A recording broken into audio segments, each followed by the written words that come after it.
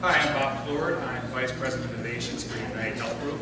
Uh, we at United Health Group, you know, we spend a lot of time looking at technologies, and we already are leveraging a lot of the technologies that are in play today, things like your mobile devices, your tablets, your PCs, and we're doing that to help people live healthier lives.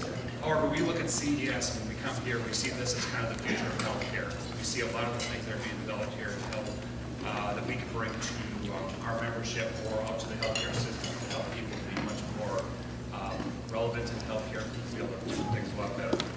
Um, So with, with, at CES here, we're actually showing two pieces of our business. First, United Healthcare, which is our benefit side, and Optum, which is our services side. And we're doing that to show how we can bring together the benefits and those services around data to help people live healthier lives.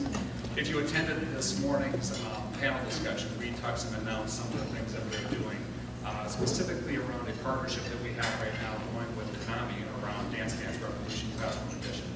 It's a solution that will allow us to bring out to classrooms to uh, young individuals, uh, to allow them to, to participate in healthy activity through dance activities. You can do up to 48 individuals in that, and we're going to be doing that with some of our school programs.